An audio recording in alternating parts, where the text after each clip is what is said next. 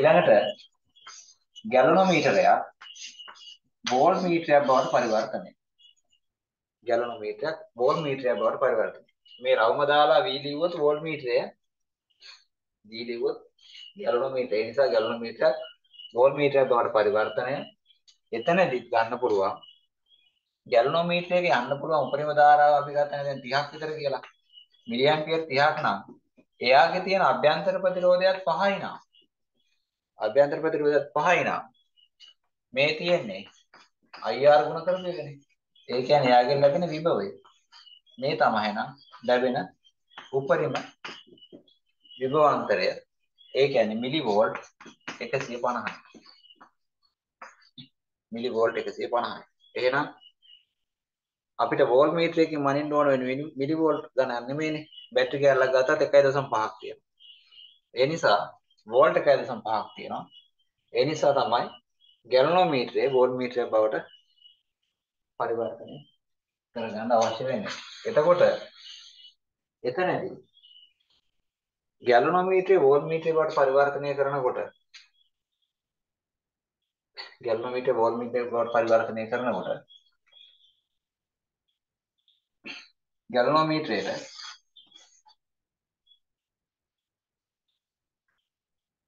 මේ තුලින් යන ධාරාව මේ තුලින් යන ධාරාව ගත්තොත් මම ගන්නවා මිලියන් 20ක් විතර කියලා. එතකොට මේකේ මනින විභවාන්තරය මනිනකොට මේ ධාර අපි මෙතනින් බලන්න ඕන අනිවාර්යයෙන්ම මේ ධාරාවට වඩා වැඩි වෙන්න දෙන්න බෑ.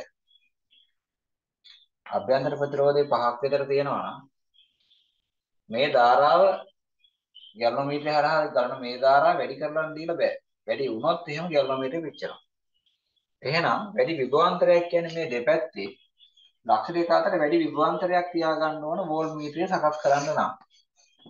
එතකොට ඔය අතර වැඩි විභවාන්තරයක් තියාගන්න මේ දෙකේ ගුණිතයෙන් ඉන්නේ පොඩි අගයක් නම් මේ ධාරාවම තියෙන විදිහට මෙතෙන්ට සම්බන්ධ කරනවා ශ්‍රේණිගතව වැඩි ප්‍රතිරෝධයක්. ලොකු ප්‍රතිරෝධයක්. එතකොට බලන්න උතන විශේෂයෙන්ම කිව්වේ නෑ දැන් කියන්නම්. ඇමීටරේ සඳහා 15 බෙදීම 197ක් ආවේ. ඒ කියන්නේ පොඩි ප්‍රතිරෝධයක්. පොඩි ප්‍රතිරෝධයක්. මේකට එන්න ඕන ලොකු ප්‍රතිරෝධයක්. සාමාන්‍ය විශාල ප්‍රතිරෝධයක්. හරි. එතකොට මෙච්චරයි ඒකේ තියෙන්නේ. ඔච්චරයි ඕකේ තියෙන්නේ. ගණන් හදනකොට තියෙන්නේ මෙන්න මේ දෙපැත්තේ අග්‍ර අතර විභවාන්තරය හොයන එක. එහෙනම් v සමානයි ආදේශයේ තියෙන හැම වෙලාවෙම මෙන්න මෙතන i වැඩි කිරීම මේ r ධන සිම්පල් r එක. ඔච්චරයි ගණන් හදන්න ඕනේ මේ. ඒ කියන්නේ මං කියන්නේ රචනා ගානට හරි විභවගත හරි මොන ක්‍රමයකට ගාන පැටලුවත් ඒකේ තිබ්බේ ගැලනෝමීටරයක් වෝල්ට්මීටරයක් කරන්න නම් අනිවාර්යෙන් මෙතන සම්බන්ධ කරන්න තියෙන්නේ මේක විතරයි. ඒ හොයන ඕන එකට තියෙන මේක. මේකට එතකොට R කියලා මේ දෙක විතරක් නෙමෙයි තව ඕන තව දෙන්න පුළුවන්. ආදේශ කරන්න තියෙන ඔච්චරයි. වෙන මොකුත් නැහැ. හරි මේකත් එක්ක එතකොට ගණන් වලට කියොත් එහෙම මං කියන මෙන්න මෙහෙම.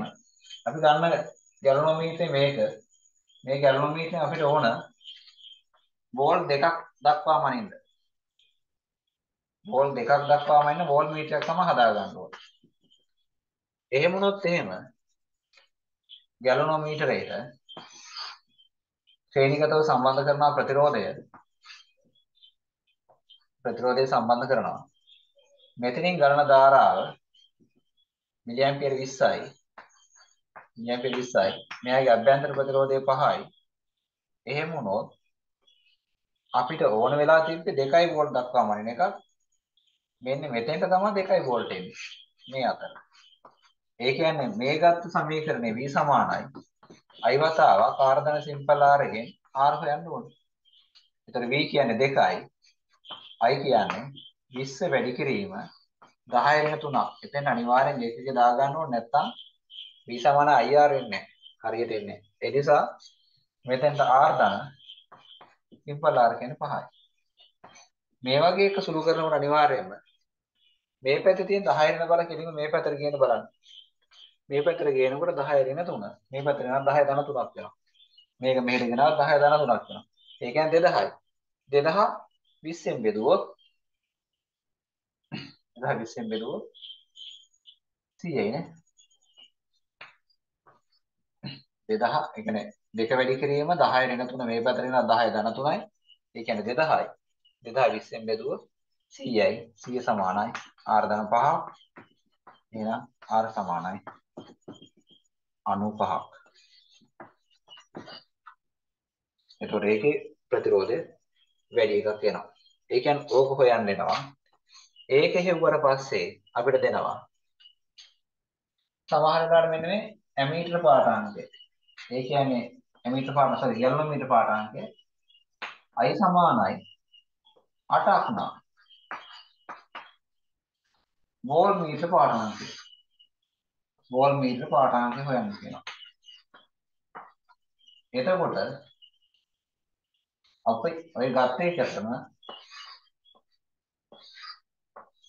ඔය ගත්ත එකටම මෙතන යන්නේ 8ක් කියලා ගන්නවා මිලියන් කියලා 8ක් යනවා. මෙතන ප්‍රතිරෝධය R තියෙනවා මෙතන සිම්පල් R 5යි ඕම් විදියට එනවා. එහෙනම් මේ අතර තියෙන V තමයි හොයන්න කියන්නේ දැන්. එතකොට v හොයනකොට ආපහු මේක මොකද v සමානයි i වතාවක් r ධන සිම්පල්.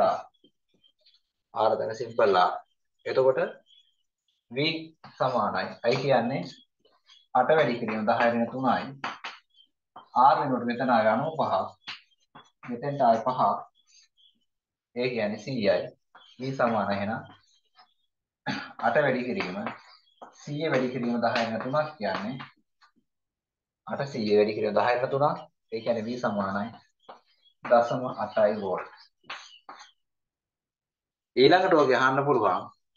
මේක දීලා ඒ කියන්නේ මේ දෙක නෙමෙයි අඩු වර්ගයක් දීලා. i අඩු වර්ගයක් දීලා ඒ නිසා ඒක හදන්න ඕනේ ගණන් තියෙන ටියුට් එකේ හදන්න. ඊට පස්සේ මම ගන්නවා. බහුපරාස වෝල්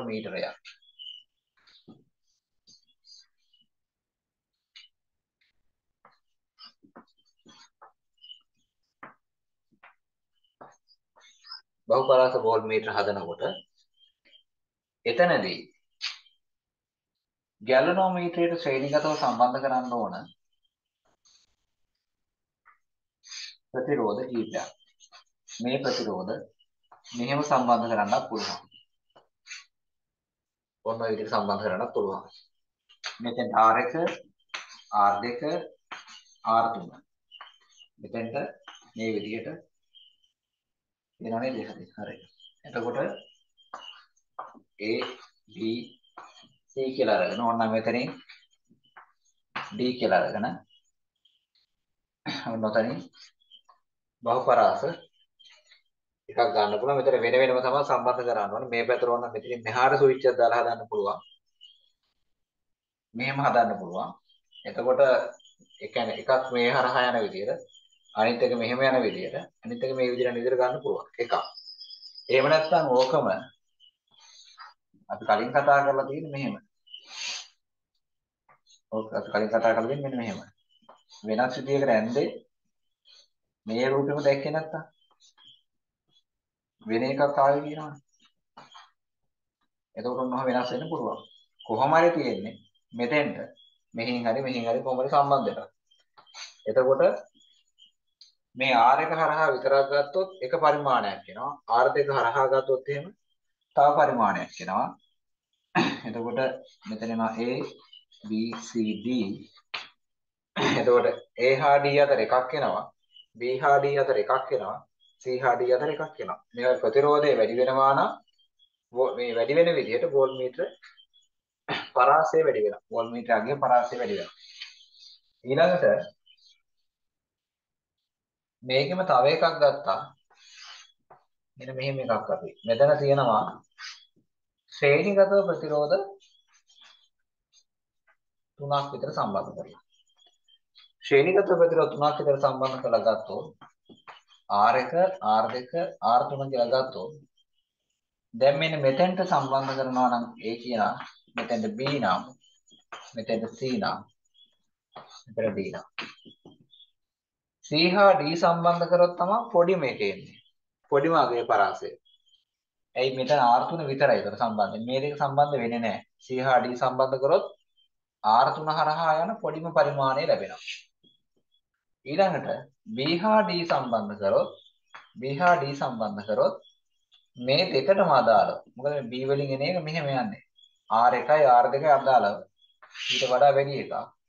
ඊට පස්සේ A හා D සම්බන්ධ කරොත් මේ තුනටම සමාන මේ කියන්නේ මේ තුනම හරහා යන එකක්. ඒ කියන්නේ ලොකුම පරිමාණ පරාසයන විදිහට එනවා. ඔන්න ඔය විදිහට බහුපරාස වෝල්ට් මීටර හදන්න පුළුවන්. මතක් කරලා දෙනවා අපහැදිලි නම් තා මොනවා හරි තුටක් තියෙනවා නම් නෝට් එකේ තියෙන ඒ ටික නෝට් එක බලන්න. හරි. එතකොට ඊළඟට තියෙනවා ගැලනෝමීටරය ඇමීටරයක් බවට පරිවර්තනය කරන එක. ඇමීටරයක් නෙමෙයි ඕම් මීටරයක් බවට. ගැලනෝමීටරය ඕම් මීටරයක් බවට පරිවර්තනය කරන එක.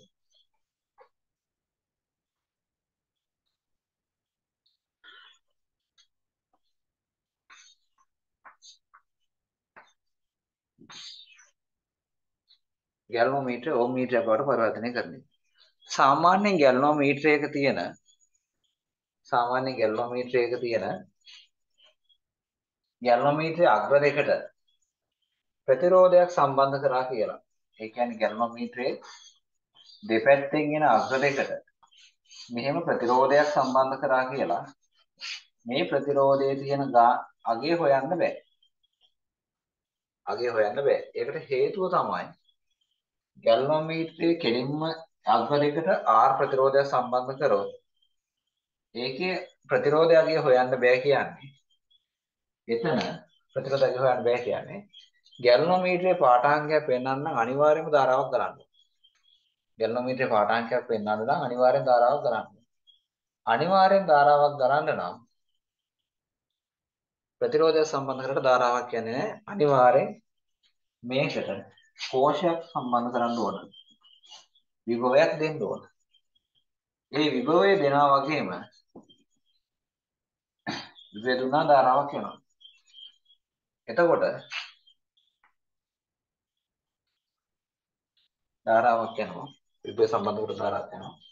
ඒ නිසා සාමාන්‍ය පරිපථය වෙන්නේ මෙහෙම සකස් කරනවා. ඒක මතක තියාගන්න ආවොත් එහෙම අනිවාර්යයෙන්ම ওই ටික අනිවාර්යෙන් බලනවා. ගැලනෝමීටරේ තියෙන්න ඕන ශ්‍රේණිගතව ප්‍රතිරෝධය සම්බන්ධ සෝරි මේ කෝෂය සම්බන්ධ වෙන්න ඕන ඒකට විචාරණ ප්‍රතිරෝධයක් හරි නැත්නම් සුදුසු S කියන ප්‍රතිරෝධයක් සම්බන්ධ කරගන්න ඕන. ඒකට මෙන්න මෙතෙන්ට අපි A හා B කියලා අග්‍ර දෙක සම්බන්ධ කරගන්නවා. ඔතෙන්ට මම ප්‍රතිරෝධ සම්බන්ධ කරන්නේ. මෙතෙන්ට ප්‍රතිරෝධයක සම්බන්ධ කරලා තමයි මනින්නේ හරි. මෙතන කෝෂය සම්බන්ධ කරපු ගම මේ S කියන එක සම්බන්ධ කිරීමේ හේතුව S කියන එක සම්බන්ධ කිරීමේ හේතුව තමයි S කියන එක සම්බන්ධ කිරීමේ හේතුව මේ දෙක නිකන් සම්බන්ධ කරොත් නැත්නම් මෙතන ප්‍රතිරෝධය සම්බන්ධ කරපු ගම මෙතන ප්‍රතිරෝධය අඩු වෙනකොට මේ තුලින් ගලන ධාරාව වැඩි වෙනවා මේ තුලින් ගලන ධාරාව වැඩි වෙනවා එතකොට ගලන ධාරාව වැඩි වෙනකොට මේක යම් අගයකට කට්ට කරගලාමයි තියෙන්නේ. යම් අගයකට කට්ට කරගලාමයි තියෙන්නේ. මේ S එක නැති වුණොත්. එතකොට මේ S එකෙන් කරන්නේ මෙතන විචල ප්‍රතිරෝධය ගත්තම සුදුසුම අපි දන්නවා මේක ගන්න ධාරාව I නම් මේකෙදි හදන්න ඕන වෙන්නේ මම මෙතන ගන්නම් කෝෂයේ විදුද්ගාමක බලය E කියලා අභ්‍යන්තර ප්‍රතිරෝධයේ සිම්පල් R කියලා. මෙතෙන්ද සම්බන්ධ කරන ප්‍රතිරෝධයේ අගයත්, අපි කියන්නේ මනින්ද සම්බන්ධ කරන ප්‍රතිරෝධයේ අගයත් කැපිටල් R කියලා ගත්තොත් ගණන් හදනකොට මේකේ ඕනේ වෙන්නේ මේකට කර්චප් දාන එක විතරයි. ඒ කියන්නේ E සමානයි. I වතාවක් ප්‍රතිරෝධ සෙට් එක එකතු කරන්න. S R RG R මොකක් හරි එකක් නැති වුණොත් ඒව දීලා නැත්නම් ආදේශ කරන්නේ නැහැ.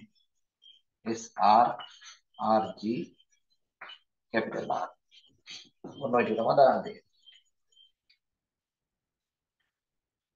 දැන් ඔතනදී මේ R එක අයින් කරත් අනිවාර්යයෙන්ම මෙතන අගයක් පෙන්වනවා ධාරාවක් පෙන්වනවා.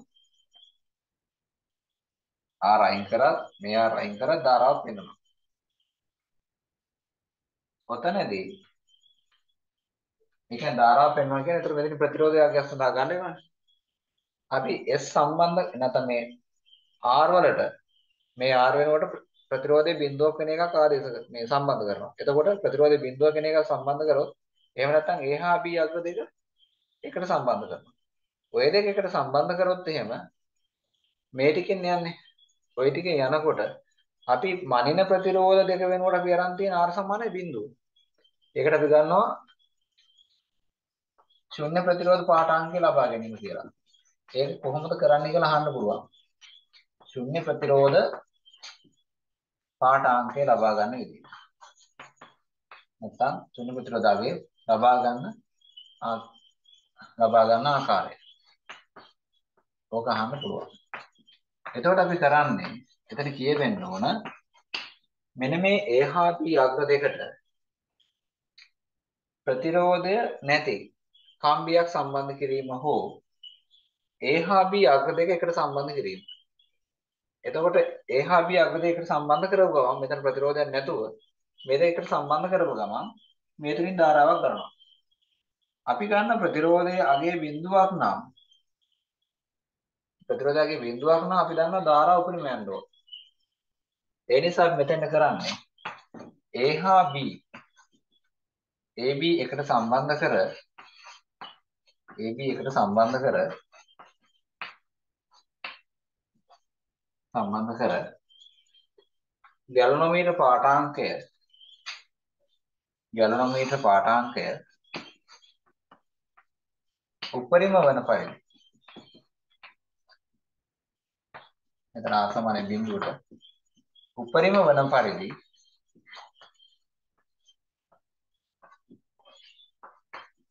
SC අගය. මේ විචල ප්‍රතිරෝධයේ අගය. සාමාන්‍ය ධාරා වැඩි කරන්න ඕන. ධාරා වැඩි කරන්න නම් S වලගේ වැඩි කරන්න ඕන අඩු කරන්න ඕන එතකොට හිතන්න බලන්න ධාරා වැඩි වෙන්න නම් ධාරා වැඩි වෙන්න නම් මේක වැඩි වෙන්න නම් මේක දැන් බිඳුවක් කරලා තියෙන්නේ. මේක අඩු කරන්න ඕන. එහෙනම් S වල අගය වැඩි අගයේ සිට මේ බිඳු වෙනකම් AB එකට සම්බන්ධ කර ගැලනෝමීටර් පාඨාංග උපරිම වන පරිදි SC අගය අඩු කරන්න. අඩු කරන බව උපරිමයි. එතකොට ඒ කියන්නේ ගැලනෝමීටරය තුලින් නැත්නම් මේ AB අතර සම්බන්ධ කරපු ප්‍රතිරෝධය තියෙන්නේ අගය බිඳුවයි. ප්‍රතිරෝධය නැතුවනේ මේක සම්බන්ධ කරේ. එතකොට ගලන ධාරා උපරිමයි නම් මෙතන I උපරිම වෙන තැන ප්‍රතිරෝධයේ බිඳුවයි. I උපරිම වෙනකොට ප්‍රතිරෝධයේ බිඳුවයි. ඒ වගේම තමයි මේ පාඨාංගේ මෙතෙන්ට ආවොත් I වලගේ බිඳුවක් වෙනකොට R අනන්තයයි. R අනන්තයයි. ඒ නිසා ඕම් මීටරයක ඕම් මීටරයක ගත්තොත් එහෙම මේ පරිමාණය තියෙන්නේ ධාරාව තියෙන්නේ මේ පැත්තට වැඩි වෙනවා නම් ප්‍රතිරෝධය තියෙන්නේ මේ පැත්තට වැඩි වෙනවා. ඒ කියන්නේ මේ පැත්තට I වැඩි වෙනවා මේ පැත්තට R වැඩි වෙනවා.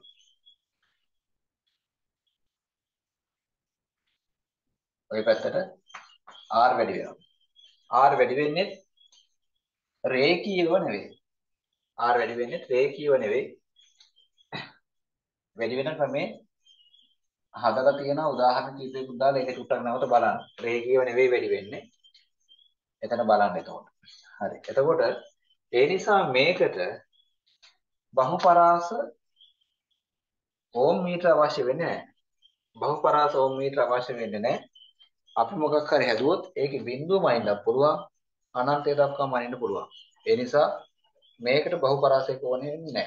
ගණන් හදනකොට මෙන්න මෙහෙම ගණන් හදනකොට සාමාන්‍ය මේවට අගයන් ටික දීලා ඔය පිළිවෙලට හදන්න වෙනවා.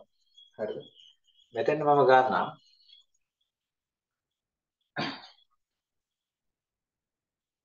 මේකේ I වලගය ඇම්පියර් 30ක් කියලා. උපරිම අගය ඇම්පියර් 30ක් කියලා ගන්න මේකේ අගය. හරිද? එතකොට මෙතෙන්ට අගය 5ක් කියලා ගන්නම්. මේක 5යි. අභ්‍යන්තර ප්‍රතිරෝධ මේක අපි නැහැ කියලා ගමුකෝ. එතකොට ඉස්සලම හොයන්න ඕනේ ඉස්සලගේ හොයන්න ඕනේ. ඒ නිසා ඒ කියන්නේ ඉස්සලම ශුන්‍ය ප්‍රතිරෝධ පාඨාංක ලබා ගන්න ඕනේ. ඒකට එහෙනම් AB එකට සම්බන්ධ කරලා ගැලනෝමීටර් පාඨාංකය උපරිම වෙන විදිහට එසියගේ හොයන්න ඕනේ. එතකොට මෙන්න මේක තමයි ආදේශ කරන්නේ. මම කෝෂයේ විදුද්ගාමක බලය ගන්නම් 12ක් වෝල්ට් කියලා. කෝෂයේ විදුද්ගාමක බලය ගන්නම් 12යි වෝල්ට් කියලා. එහෙම වුණොත් එහෙම E සමානයි I වැඩි කිරීම S ධන සිම්පල් R එක මම බිඳුවක් කියලා ගත්තා. කෝෂ අභ්‍යන්තර ප්‍රතිරෝධ බිඳුවක් කියලා ගත්තා. RG කියන්නේ 5යි. RG ඊළඟට මෙතෙන් දෙනවා කැපිටල් R. ඔන්න ඕක තමයි. පොතෙන් දාපු සමීකරණය. ඒ කියන්නේ මම අභ්‍යන්තර ප්‍රතිරෝධ බිඳුවක් කරපු නිසා. එහෙනම් මෙතන R සමානයි බිඳුවට තමයි ඉස්සර අපි හොයන්න ඕනේ. ශුන්‍ය ප්‍රතිරෝධ පාඨාංක කියලා බා ගන්න අවස්ථාවේ E වලට ඉන්නේ 12යි. E වලට 12යි. එතකොට ප්‍රතිරෝධයේ බිඳුවක් වෙනකොට මේක උපරිම ධාරාව ගන්නවා. ප්‍රතිරෝධ බිඳුවක් වෙනකොට මේක උපරිම ධාරාව ගන්නවා. ඒ නිසා ධාරාව 30 වැඩි කිරීම 10 වෙන 3ක්. S RG කියන්නේ 5යි කැපිටල් R බිඳුවයි. එහෙනම් මෙතනත් කරන්නේ මේ සෙට් එක මෙහෙට ගේනවා 10 වෙන 3 මේ පැත්තට ගේනකොට 10 ධන 3යි. ඒ කියන්නේ 12000යි. නැත්නම් 12 වැඩි කිරීම 1000 බෙදීම 30 මෙතෙන් 2යි 3 වරක් 1යි මෙතෙන් 4යි. ඒ කියන්නේ සමානයි S ධන 5ක්. S ධන 5ක්. එහෙනම් S කියන්නේ එතනින් එනවා S කියන්නේ එතකොට මෙතන 400යි 400 5 395යි. 400 කියන 5 කියන්නේ 395යි. හරි. ඉස්සලා ඒක හොයාගත්තට පස්සේ දැන් මෙතෙන්ට දුන්නොත් මෙතන අගය හොයන්න තියෙනවා. ඒ වගේ ගණන් ටිකක් තියෙන ඊට පස්සේ. එහෙනම් සමහර වෙලාවට අපිට දෙන්න පුළුවන් I සමානයි. මිලි ඇම්පියර් 10ක් නම්. ඒ කියන්නේ ගැලනෝමීටර් පාඨාංකයේ විදිහට බලන්න මිලි ඇම්පියර් 10ක් නම් R වලගේ ඕක ගන්න පුළුවන්. ආපහු මේකම තමයි ආදේශ කරන්න තියෙන්නේ? මේ තියෙන්නේ 12 සමානයි. ධාරාව 10 වැඩි කිරීම 10 වෙන 3යි S විදිහට එනවා එතකොට. මෙතන අපිට S විදිහට එනවා. 395 395යි R විදිහට 5 එනවා මෙතෙන්ට කැපිටල් R හොයන්න. ඔතෙන්ට කැපිටල් R හොයන්න. එහෙම වුණොත් එහෙම ආපහු මේ පැත්තට එද්දී ඕනනම් මේ තියෙන 10 වැඩි කියන 10 වෙන 3යි කියන්නේ 10 වෙන 2ක් තමයි මේ පැත්තට එන්නේ 1200 සමානයි එහෙනම් 400 ධන R. එතකොට එහෙනම් R කියන්නේ 800යි. මේ වෙලාවේදී ප්‍රතිරෝධය? කොහොම 800යි. ඊට පස්සේ අපෙන් අහන්න පුළුවන් තව වුණා. මෙහෙම වුණොත් R ඇහුවගේ R සමානයි.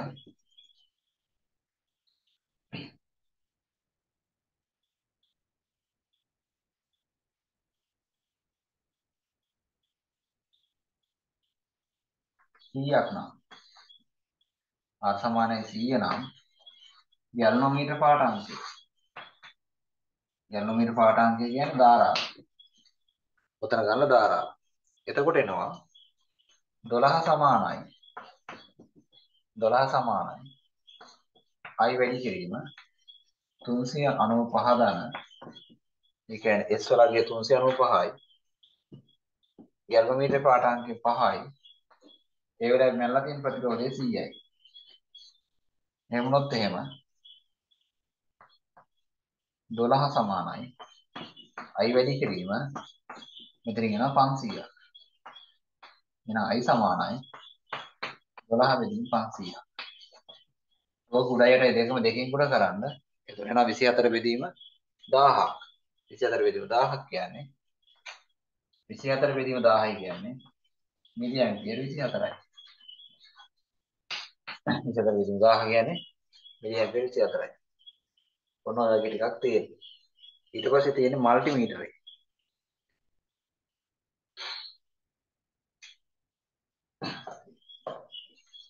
ආයෙ තියෙන මල්ටිමීටරේ මේ